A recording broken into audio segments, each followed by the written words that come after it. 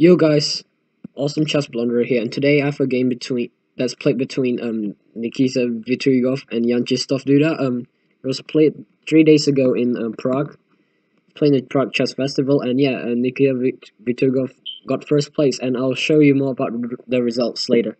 So um, yeah, let's start out the game off. So um, Nikita has the white pieces, and he starts with e4. Jan Krzysztof responds with c5, the Sicilian defense. Knight f3, d6, d4.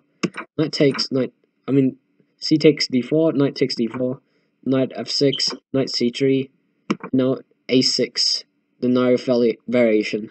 a4, just preventing um, b5 expansion here, and also uh, preparing to push a5 in the future. Um, g6, just preparing to flank the bishop earlier. Bishop e2, bishop g7, bishop e3, knight c6, castles, castles, queen d2, prop, um, preparing to use the queen bishop battery to assault, um, to go to um, h6 just to um, get rid of this um, strong bishop. Knight takes, bishop takes, now um, white's unable to do that unless if he wants to waste a move. Now, bishop um, e6, um, h5, just preventing um, preventing b5 with en passant. Oh yeah, a5 earlier, sorry. Preventing b5. So uh, rook c8, just going on this semi-open file. Um, rook a4, nice rook lift. Um, it's just preparing. The rook's preparing to go to uh, b4. Just attack this pawn. Rook c6, preparing for a rook lift. Just a um, in the future, after like something like queen down, queen to um, queen to d7. So um, f4, queen d7, rook b4, attacking this pawn. And now rook c fc8, bishop d3, just protecting this pawn because um these two rooks are putting a lot of pressure on this pawn.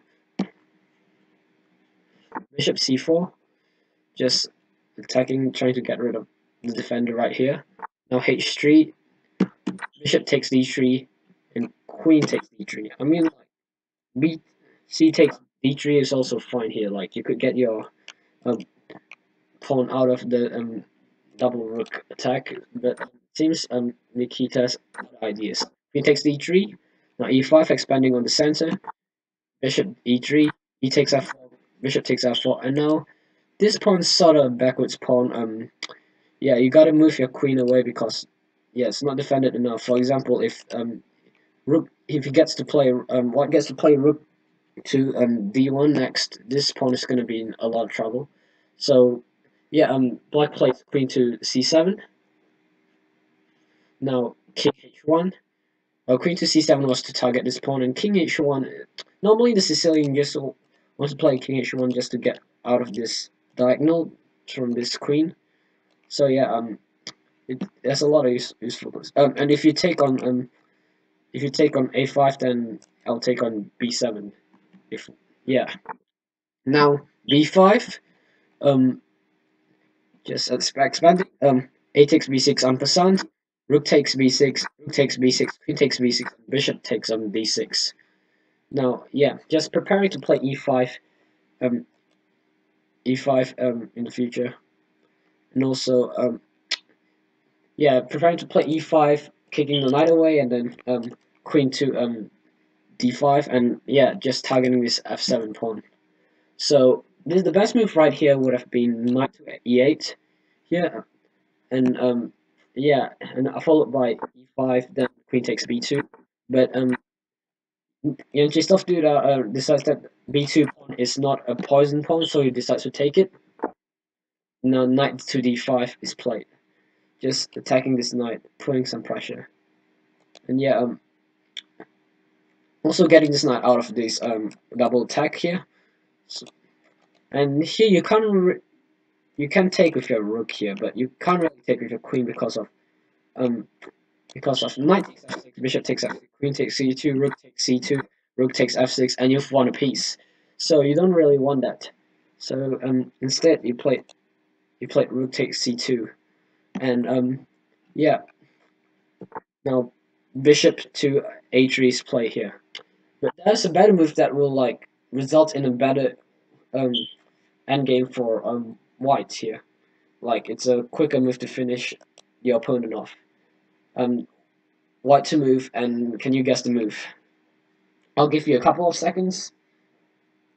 Three, two, one. The move is um knight takes on um f f6 and bishop takes on f6 and now e5 and the bishop can't really takes on e5 because if he takes bishop takes queen takes and this rook's now undefended and queen takes c2 and e5 is just a really strong move here. Um like yeah it's it's just a, you just gotta push the pawn next. And also um also yeah you're just attacking this you're attacking f6 so yeah uh, I mean yeah the bishop on f6 because you block the queen from defending f6 so, yeah. so you don't really want that. So you play bishop here. But instead um white played bishop a3 here. Now queen to b5 and it's saying if um if you want to take my rook then I'll just take your rook and now um, I have a better position. So yeah, um, you don't really want that. So knight takes on f6 is played. Bishop takes, queen takes on b5, a takes on b5, rook takes on f6, winning a piece. And now um, b4, just giving up pawn just to win back a pawn. So um, bishop takes on b4, like it's playing the, which is playing the game. Then you have rook to c4, just um, blocking the bishop and the pawn. And yeah, but instead, um, black played um, rook c1 check first, king to h2, rook to c4. Now, um, just attacking these two.